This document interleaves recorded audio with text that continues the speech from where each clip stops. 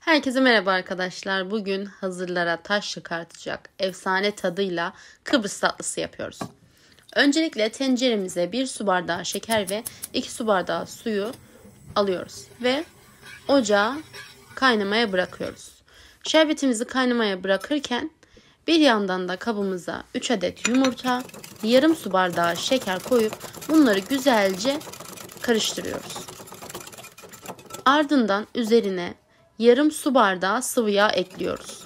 Bunları da güzelce karıştırdıktan sonra 1 su bardağı galeta unu, 1 su bardağı küçük küçük doğranmış ceviz, 1 paket kabartma tozu ve 1 su bardağı Hindistan cevizini ekliyoruz. Bunları da güzelce karıştırıyoruz. Katı bir e, hamur elde ediyoruz aslında. Daha sonra borcamı yağlıyoruz ve üzerine bu kek hamurumuzu döküyoruz.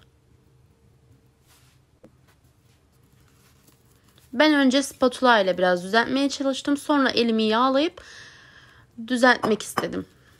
Eşit olması için. Çünkü spatula ile biraz daha zor oluyor. Sert bir yapıya sahip çünkü kekimiz. Daha sonra önceden ısıttığım 180 derecelik fırında üzeri kızarıncaya kadar pişirdim. Kekimiz fırında pişerken bir yandan da muhallebisi için 1 litre sütü tencereye alıp üzerine 1 su bardağı nişasta, yarım su bardağı şeker ve 1 paket vanilyayı ekledim.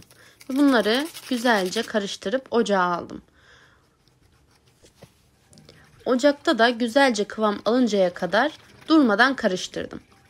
Daha sonra kıvam aldıktan sonra Üzerine bir paket krem şanti ekleyip hızlıca karıştırdım. Burada daha hızlı olmanız çok önemli çünkü topaklaşabiliyor.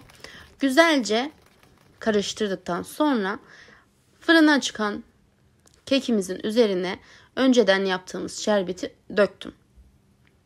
Şerbeti gördüğünüz gibi çok güzel çekti.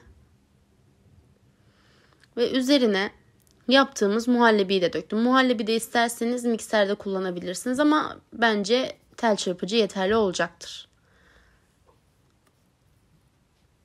Muhallebiyi de döküp düzelttikten sonra üzerine süslemek için Hindistan ceviziyle kapladım. Servis ederken de üzerine antep fıstığı döktüm. Siz dilerseniz evinizde ne varsa onu kullanabilirsiniz. Deneyen herkese şimdiden afiyet olsun. Kanalıma abone olmayı unutmayın.